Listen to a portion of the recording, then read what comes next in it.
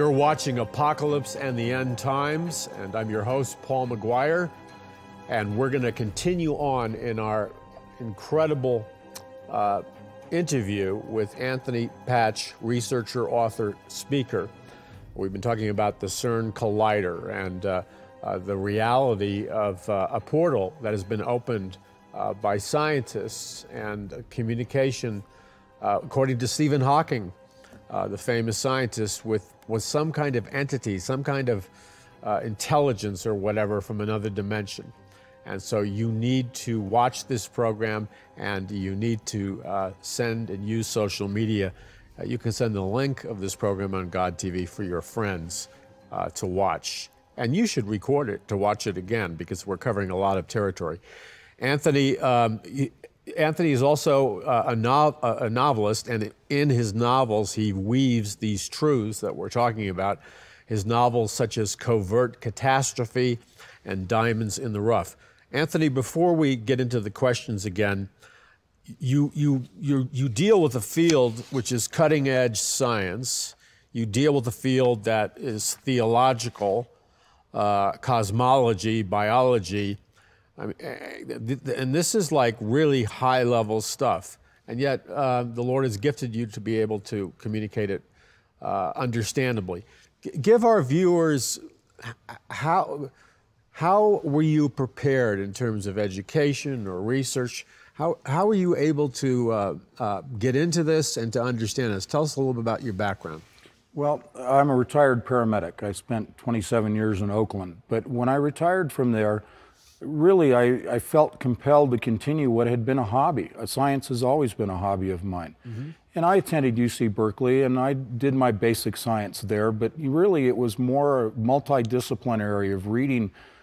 Predating the internet, I subscribed to many, many different types of magazines, multiple disciplines and drew scientific from there. magazine? Predominantly okay. scientific. Okay. And when the Large Hadron Collider became more apparent in some of the science magazines, because it was founded in 1954, I really latched onto it because I was fascinated with the machinery and the technology, and it was so cutting edge that I followed it and I have continued to follow it.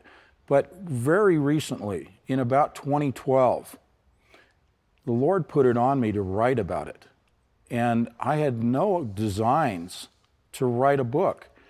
But I found myself compelled, and then he made it a very humorous relationship in the writing between he and I. It was a running joke. How, how was it a running that. joke? Because what I was reading, not only some of the occult that we've spoken of, but the science and understanding how they wanted to affect mankind and what the ultimate agenda was, that could lead to some profound depression. But the Lord oh, balanced yes, yes, that yes, out. He balanced it for me mentally right. by establishing this line of what I call British type humor, very dry humor, okay. in my constant communication, my constant conversation with him. And it was refreshing while I'm writing about all of this. Right. He would reveal something to me and say, Go look at this. And I go down this rabbit hole of research and I go, Oh, okay, I got it, I got it, got it. Okay, fine. And I'll put it into the novel. That was the process in a nutshell. But I've always been fascinated with science, and I think I kind of, you know, drank the Kool-Aid for a while, you know. But right. the idea that he revealed to me. When you say drank the Kool-Aid, uh, you, you, mean that you sort of you, the propaganda, right? You accepted the the secular humanistic scientific worldview. Okay. Exactly. But I've been a, a, Christian. I accepted Christ as my Savior at age 16, and I've had my ups and downs like we all do. But I've always had this constant connection with him. And he made it very profound right around that time frame that they, the time is short. You need to get the message out in a unique way. I'm going to equip you with the skills. I'm no one special. I'm not a prophet. I always say that. But he has taken me, Joe Average, who had a hobby interest in physics and other areas of science, and said, Look, I'm going, I've prepared you with this curiosity and the knowledge that you've gained so far. Now you need to translate this. He made me a translator of the arcane, complex science and said, Your curiosity has given you the understanding of the mechanisms. Let's focus on particle physics as an example among biology and DNA.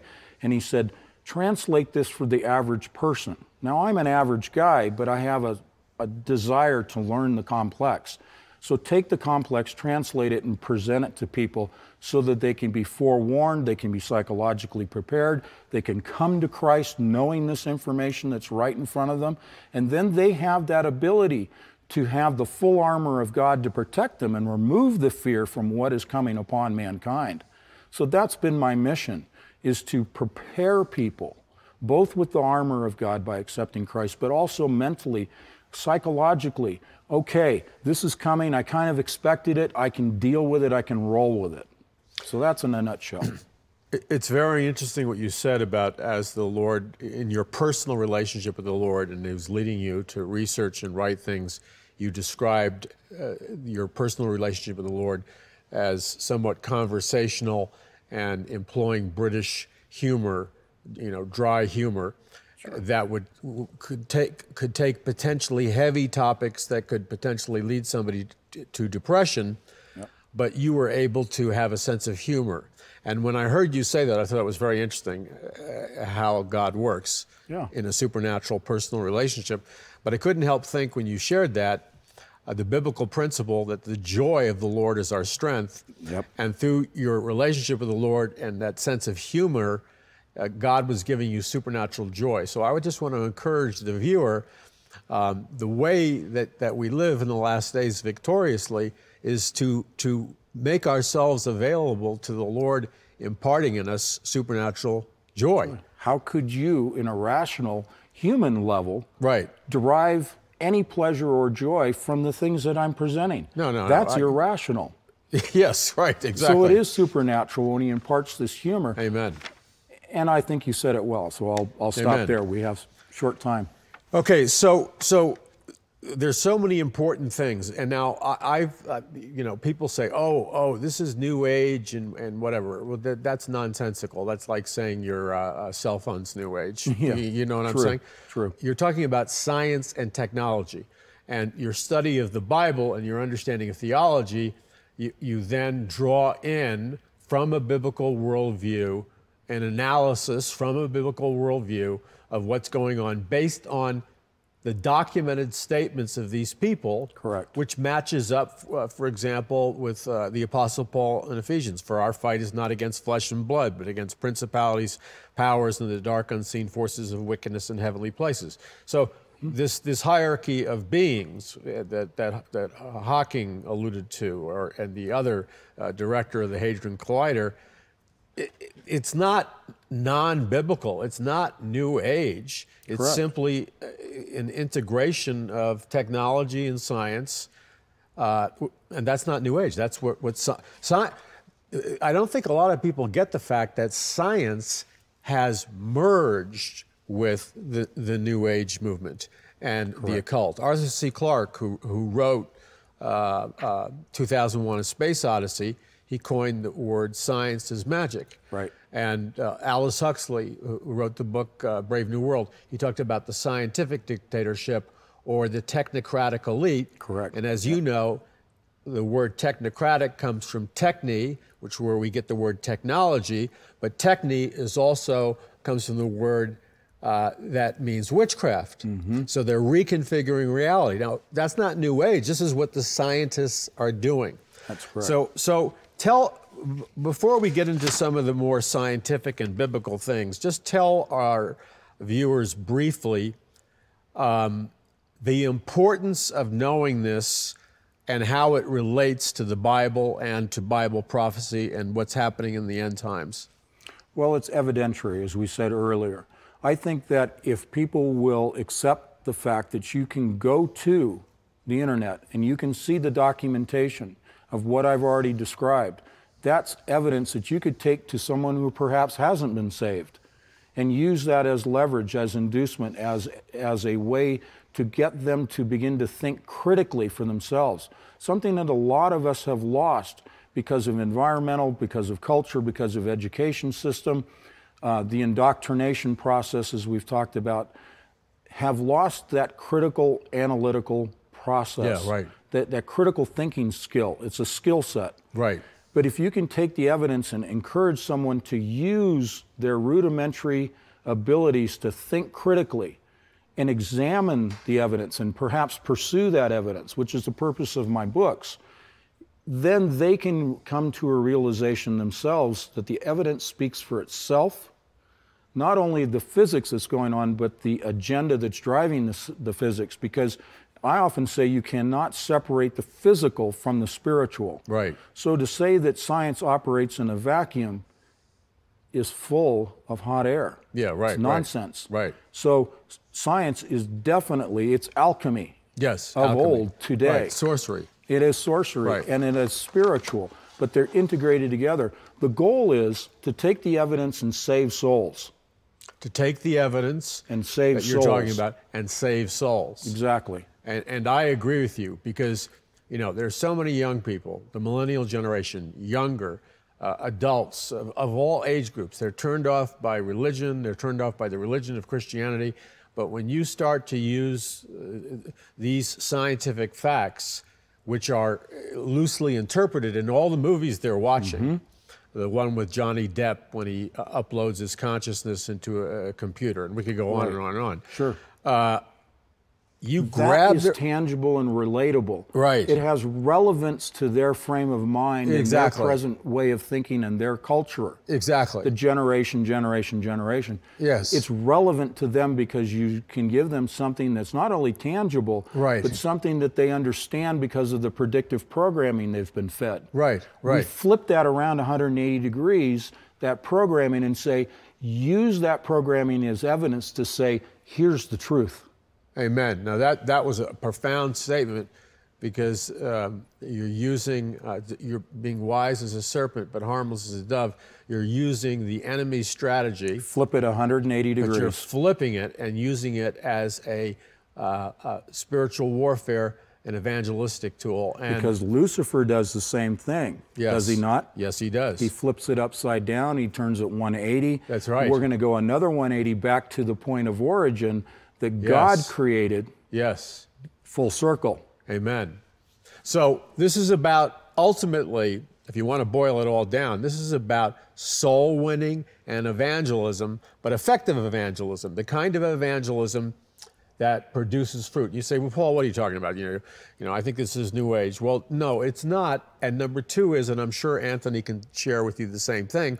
I get emails all the time from people who have received Jesus Christ from as their Lord and Savior, and I get a ton of people who have backslidden from Jesus, and they've returned or they've accepted the Lord because they heard somebody with a message like yours that integrated the reality that they're, you know what I'm saying? Sure, sure. Powerful evangelistic tool in winning souls, especially, especially the very people who need it the most, uh, the, the, the age group that, are, that have walked away from Christ.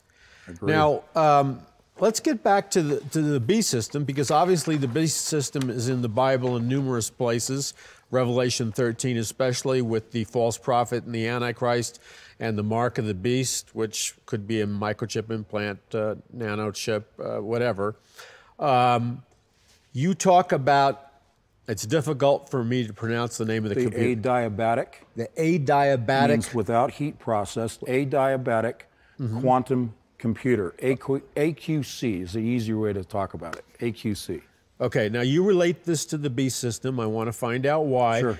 But you you tell us, and I want our viewers to grasp this, that this are they building this computer now? It's already been built in the model 2048. They started with a 128 model. Wait, not the year, but the model number the number model number. 2048. Right. It's, it's already built. Well, there have been multiple generations that have Okay, been but built. but, but, but the early stages, like early the early one, Apple. first one was 2008. Wow. The 2048 was released to the public Right. in January of last year, 2015. Now, you describe it as equivalent to 7 billion human brains. Ha- have they has has this computer reached that level yet? Yes. So this computer, how big is it by the way physically? Well, interestingly, it's housed in a black cube. Can you say Mecca? Right. Black sun, the worship of, and we go to 2001 with the obelisk, right. Right. It wasn't a cube, but it was a black Right. rectangle. How, how big of a black cube so is it? So we're talking about something that's about the size of this stage here in the studio. So, so this computer is about a black cube about the size of this television set, Right. And yet it has the intelligence and memory or uh, whatever that's equivalent to seven billion human brains. That's correct. Now, this is a housing, this is a, a shield that separates it from all electromagnetic interference okay. to maintain the stability of the processor. Okay? It's what's called coherence and decoherence in computer science. But inside the cube is something that is arranged just like the spinal column of a human. Hmm. And it has what are known as qubits that are essentially constructed of gold but other components. But these are not transistor based. Qubits are a complete departure in the technology from transistors, which are silicon gate um, model, gate model um, processors. This is a complete quantum leap, leap into a, another way of processing information. And it does so so quickly that it has no relevance, no comparison to the gate model transistor based, even transistor quantum computer. So we're talking about something that most people who've not studied mm-hmm. the adiabatic quantum computer process can't wrap their heads around. It's a very deep topic, but I want to be succinct here. It operates interdimensionally. When I spoke of earlier that they're already communicating with the other side, without having opened a gateway, a portal, a physical portal in the dimension, they're communicating using this computer because, and this comes right from the manufacturer, this is public disclosure information. I didn't have to get this in a secretive manner. They do what are called combinatorial programming. They take all possible solutions and at one time feed it into the machine through an interface, which happens to be a black cube itself, the interface device. And by their own admission, it enters into another dimension where the processing takes place, and then they extract from that other dimension the solution to the combinatorial problem. That is communication with an actual physical tool to another dimension. Now, when it's communicating to another dimension, is it communicating to to a consciousness or an intelligence in another dimension? Yes, It is. yes. Because it happens definitively, repeatedly, measurably. They're able to do this consistently. There was a lot of doubt in the transistor based world of quantum computing that mm-hmm. the, co- the company that put this quantum or qubit based processor together that they really were achieving any definitive answers mm-hmm. and that were reliable and coherent okay that were stable.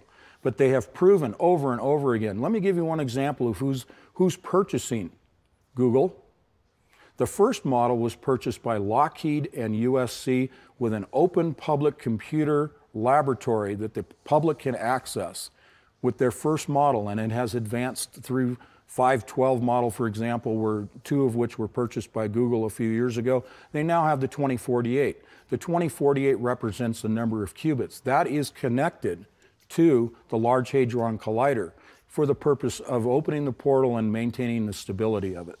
Okay, so when you say this computer is connected to the Large Hadron Collider, it, it somehow is le- electronically or something connected to? It's no different than our computer networking setups. so it's, it's networked into the Large Hadron Collider. That's correct. So we, we have literally, um, it's like, reminds me of 2001 A Space Odyssey. There's the, there's the ape. the- 9000. Yeah, and then there's the ape and the obelisk, and then Pow. you know. And yet, I, I believe in the biblical worldview. Sure. But it would seem to me that with this level of seven billion human brains of intelligence, and and This is the beef system. yeah, the B system, it, it seems to me that it is already well, it's already artificially intelligent, Absolutely. but it must be advanced, self-advancing itself. Yes. So it, it, it, it's moving towards a, a singularity where its its intelligence surpasses man. Mm-hmm. Do you That's think correct. it's already on, on the way to that? It is. That is the goal. the question often arises is it yet sentient is it self-aware i don't Right. believe it is Okay. i don't and i base that only on the evidence that i look at not conjecture or speculation So i don't how- think it so- has So, so how? Tell us how, in a biblical sense, this connects with the beast system in the Book of Revelation. Well, the beast system we hear of, if you don't accept the mark of the beast, then no man can buy or sell. All of that control mechanism. How do you control over 7 billion people? Right. You have a computer that's equivalent to 7 billion people. That's why I Right. cite that coming from the manufacturer's own citation. Okay? So I'm just repeating their information. But the point is, you have to have a sophisticated system to be able to control not just the movement of people and the movement of goods and transactions and governments, but the minds of people. You're creating a serf class of human beings. Right. When you accept the mark of the beast, you lose all awareness that you have even been modified. You don't even know that you've been changed. So your memory's erased, like some of the sci-fi movies. Well, in the sense of your own self awareness, your Right. own knowledge of your soul. Okay, so when you take the biblical mark of the beast, which is uh, technology, i i- it's it, it's deeper than than It what- goes to the DNA. It goes to. Tell us how it goes to the DNA. Okay. This sounds far fetched, but when you accept the mark of the beast, what you are actually doing is accepting into your body. And there will be numerous routes to this. This can be through inhalation of nanoparticles, this can be the acceptance of a vaccine for you and your children and your loved ones. Once it's introduced into the body by any route, it then is a modifier to the DNA. I call it the third strand of DNA. We have a double helix, this is going to be a triple helix. This is an artificial construct that can be digitally imparted with information and then controlled from an external source. That control mechanism, the linkage, comes through the electromagnetic connection. We can call it microwaves or whatever, or ELF, extremely low frequency, be it whatever frequency.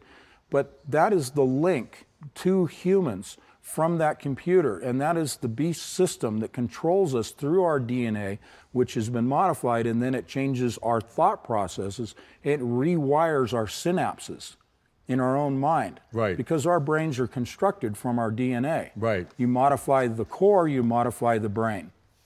Powerful stuff. Our guest is Anthony Patch. You need to record these programs. You need to distribute them to your friends, and you need to, to, to review them because there's been so much content that would be impossible to understand and, and, and process uh, without a repeated viewing.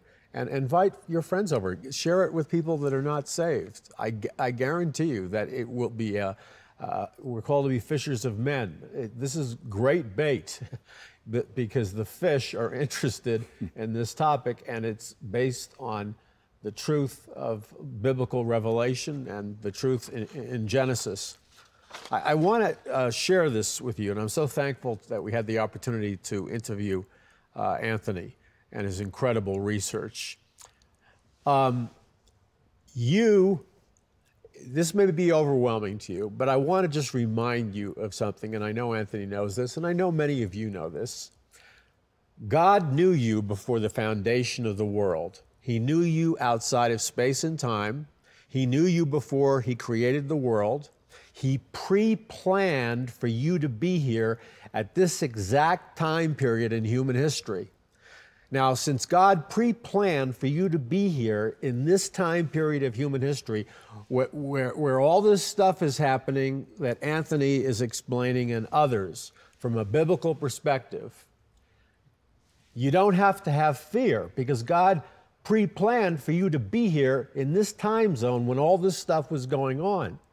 And that obviously implies that God already downloaded in you before the beginning of time, and I'm using this in a metaphorical sense, the apps or applications or the spiritual gifts or the natural gifts that you need to be victorious in dealing with all this stuff that we've been talking about. Because God pre planned for you to be here. So this should not cause a panic attack. This should cause a, a, a release of supernatural joy and expectation because you are downloaded with something far more powerful than this 7 billion human mind computer. You've been given the mind of Christ. The mind of Christ is vastly superior to everything we've been talking about. And you have the Holy Spirit living inside you. Greater is He that is in you than He that is in the world. Oh, yeah. So fear, it, should not even be an option. So I rejoice, and I am sure Anthony and many of you would agree with me, as Joshua and Caleb said to the Lord, they offered the Lord a good report when they were confronted with the, the knowledge of a great spiritual battle. They said to the Lord, We are well able to take the land.